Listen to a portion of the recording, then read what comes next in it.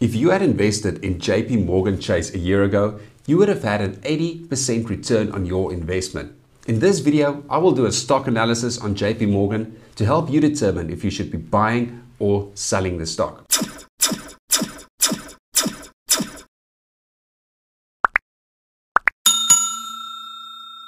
Now, before we go into the actual analysis of this stock, let's first head over to my spreadsheet and look at the basics first. And by the way, if you want access to this sheet, along with all the other stock analysis we have covered up to now, simply click on the link in the description below.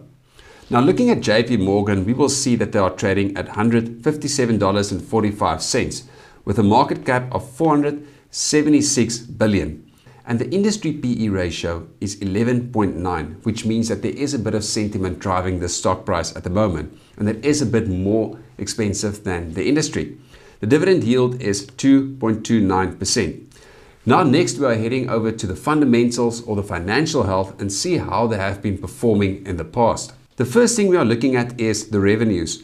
We will see that the revenues have been pretty much flat and then dipping slightly, but then it has been going in an uptrend.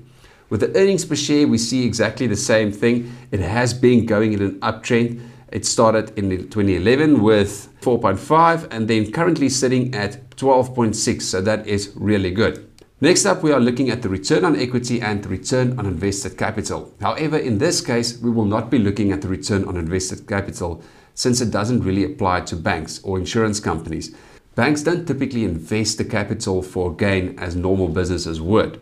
Now, with a return on equity, we are generally looking at a benchmark of 10%.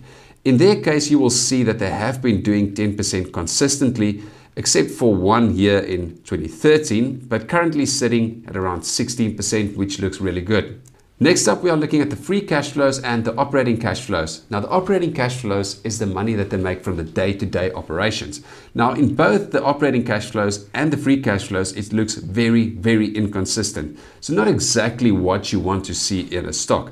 You want to see consistency, but in their case, they don't meet this. Looking at the gross margins though, we will see that it looks very healthy. The gross margins has been consistently sitting between 75 and around 90%. So really healthy, good gross margins.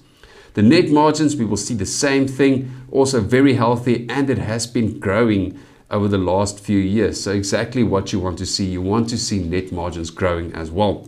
Now we are looking at the current ratio and the debt to equity ratio. In this case, we will not look at the current ratio because it's very difficult to do a current ratio for banks. When it comes to current liabilities, you don't really know when people will be withdrawing their deposits.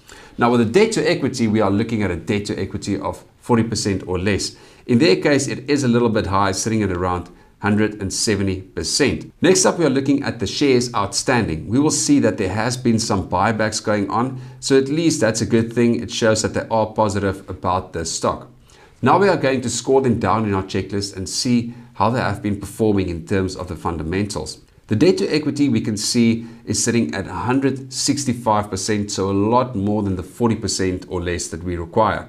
The revenues have been growing by around 2.4% and not 5% that we require. The return on equity has been sitting at around 11.3%. The free cash flows and operating cash flows, as we saw, very inconsistent, so it has not been growing. The gross margins have been very healthy, so it is more than 10%. The net margins, 25% on average, so definitely more than the 10% we require. The earnings per share sitting at 11%, which brings them in at a total of 4 out of 8 for the fundamentals. Now we are going to look at the management and see how experienced the management is. Now in the management's case, we will not be looking at the return on invested capital as we generally will, because this generally tells us how the management is investing the capital for the shareholders. But like I mentioned earlier in this video, we will not be bringing this in to uh, with the management. So now when we look at the management, we will see that the leadership team have been around for more than two years. The board members have been around for more than three years. Generally, we are also looking at the return on invested capital, but like I said earlier in this video, we will not be looking at the return on invested capital for JP Morgan since it doesn't really apply to banks. So this brings them in at a total of 2 out of 2 for the management. Now we are going to look at the insider trading and see what the insiders think about the stock. If they are buying the stock, it means that they are positive about the stock price going up. And if they are not, then it, it's probably a red flag to us. Looking at the insider trading, we see something a bit alarming.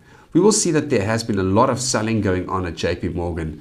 In the last three months, we will see that 569,000 shares got sold. And in the last 12 months, more than a million shares was sold by insiders. So that is a bit of a red flag to me. Now we are going to look at the analyst ratings and see what the analysts think about this stock. As you can see, the analysts are rating it a 4 out of 5 and 11 giving it a buy, 6 a strong buy, 6 a hold, 2 a sell and 1 a strong sell. They are predicting a 12 month target of $163 with a potential return of 3.7%, so not great. And if you invested in JP Morgan a year ago, you would have had an 80.9% return on your investment. Now we are heading into the verdict and my final views around this stock. If you like this analysis, please click the like button, also click the red subscribe button and the bell icon to be notified whenever we do more videos like this. So heading into the verdict, we will see that the fundamentals is 4 out of 8, management 2 out of 2, the insiders are selling shares, so that is a bit of a red flag to me. The current price is $157 and the fair price according to a DCF model is $180. This means that they are a bit undervalued and you will probably be seeing a margin of safety of about 12% if you buy JP Morgan stock. But keep in mind, there is a bit of selling going on, so that is a bit of a red flag to me. But overall, it looks like the stock is a bit undervalued at the moment. Just once again, keep in mind that there is insider selling going on. So to me personally, that is a bit of a red flag. If you like money, creating wealth, and want financial freedom, please join our money tribe by clicking the subscribe button below this video now. And because I know you need a little extra motivation, Every month, we will give away a copy of our book, The Money Secret, along with some really cool channel merchandise. And we will give it to active subscribers on this channel. So make sure to click the subscribe button below this video now and click the bell icon to be notified whenever we do more videos like this.